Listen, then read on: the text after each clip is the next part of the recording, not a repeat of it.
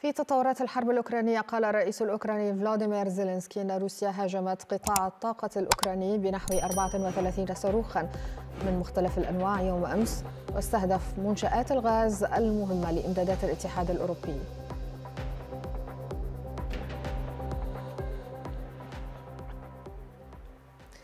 من جهتها قالت وزارة الدفاع الروسية أنها اعترضت 17 مسيرة أوكرانية في غرب البلاد مضيفة بأن تسعة منها أسقطت فوق منطقة بريانسك الحدودية بين البلدين. كما آه، أسقطت ثلاث مسيرات أخرى فوق كورسك وبلغورود وكالوغا.